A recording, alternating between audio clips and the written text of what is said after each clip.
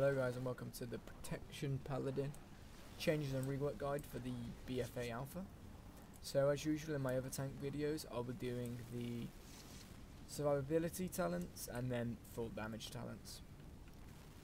Um, so yeah, one thing I'll say from the start of this video is that Protection Paladin is one of probably the most unchanged classes in um, the whole of BFA. Like there's not much change to it. There's just a few spells added here and there which just help the all-round um, way the spec plays. So first off, your um, first talent tree is just stays the same, nothing's changed. So you want to take Blessed Hammer again due to the fact that the um, boss's auto attacks are going to deal 12% less damage to you, which is obviously what you take it for. Holy Shield was good when we had the um, legendary talent ring, but now you use Blessed Hammer all the time. Especially with the fact that we can get a um, there's a chance we get a Grand Crusader proc. So for next you have um, Crusader Judgment. Judgment now has two charges and Grand Crusader now also grants a charge of Judgment. First Avenger, as it was in uh, Legion and Bastion of Light. I like taking Bastion of Light just because it's that extra for survivability. It allows me to use Shield of Righteous more. And yeah, it just allows me to survive more. And as you can see, you can use Bastion of Light now and just get more charges up to keep up my Shield of Righteous and just keep, make sure that I'm keeping up my armor as much as possible so I'm staying alive when damage is incoming.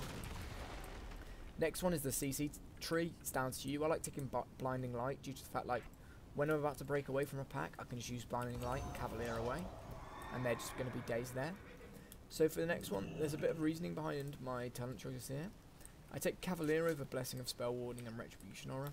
Due to the fact that in my next talent tree, I take Knight Templar due to the fact that it's just an extra defensive you have, the Divine Steed, so that if, worst case scenario, that you run out of um, Shield of Righteous charges, you can just use your Steed as an extra defensive and save your Ardent Defender for when you're really, really low and you can use it to um, stay alive when you're about to get fatally hit. So that's why I take Knight Templar and Cavalier. If I wasn't taking Cavalier, I'd probably take Spell Warding, and then therefore, I'd be taking Hand of Protector just for that extra healing. Because Hand of Protector is really, really good. Especially when you're standing in your consecration. Because there was a legendary that was in Legion where um, when you're standing inside your consecration, your healing's in increased. And that's kind of added into Hand of Protector. But um, Light of the Protector is still very, very good.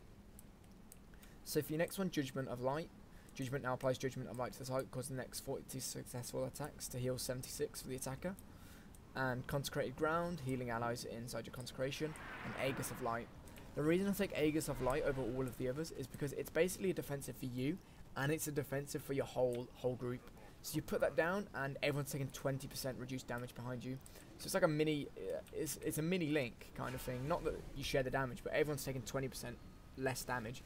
So it's it's a really really good effective spell, and it's better than Consecrated and Judgment. Although it won't heal you, the Aegis, it's just going to allow the healer a lot less stress when a big damage spell's coming onto the group. Everyone can stack up in the Aegis Put down a link as well, you're just not taking any damage.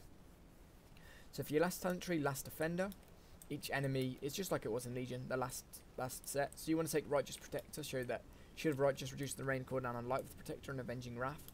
So you're able to get more self heals, and obviously with Avenging Wrath, you're increasing damage done by 35% and all healing done by 35%. So especially when that's up, you're just not going to die because you're going to be doing a lot of damage. You're going to be healing a lot of Light of Protector, so that's really really good. So now for um, the, the full full damage build. So I'll just quickly do that now. So the, the damage build, it's it's pretty much the same as Legion. There's no change because you won't be taking Aegis, so you're not using any new spells. It's literally all the same. So you want to take um, Blessed Hammer again due to the fact it's going to be hitting all the targets and they're going to deal less damage to you.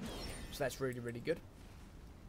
Next, you want to take his first Avenger due to the fact that with us getting a Blessed, Blessed Hammer, Blessed Hammers, we're going to get um, Grand Crusader procs more.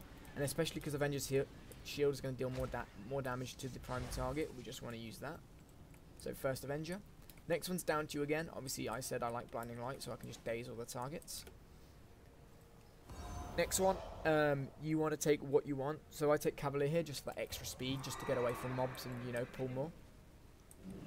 Next, what you want is really down to you. Again, I use Divine Steed just the fact it's an extra defensive, so when I'm on it, I'm taking 20% reduced damage, and i have obviously got that speed buff, so it's just an extra defensive. And for next, you want to take is the Judgment of Light, because you want to be using judgment a lot, a lot, a lot, and especially with that healing, you can you can help the group out and the healers out with that judgment. Aegis of Light's on cooldown. I'm I'm retarded. So now what you want to do is even last defender is good, but Seraphim's just really really good in general for um for damage. You can use that now, and just you're going to be doing really really big damage with the um, increased mastery, um, haste, crit burst. So you're going to be doing really really big damage. So yeah, obviously that Grand Crusader, it's going to hit really hard on them. So if we just showcase the damage, so obviously I'm going to start with my Blessed Hammers. Keep up my Shield Righteous at all times. Use up my Blessed Hammers so I can get some Shield of Righteous procs. Use Judgment so that um, everyone's getting healed. Try and get a uh, Grand Crusader proc. Use Light of if I need.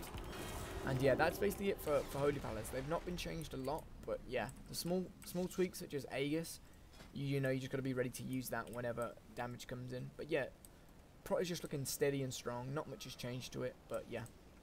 Anyway, uh, like and subscribe if you like the video, and if you want to see more guides in the future, then comment what you want to see. And if there's anything I could change for future video, just comment that as well. I'll try and reply to every single one. Anyway, thanks for listening and watching, and see you in the next one.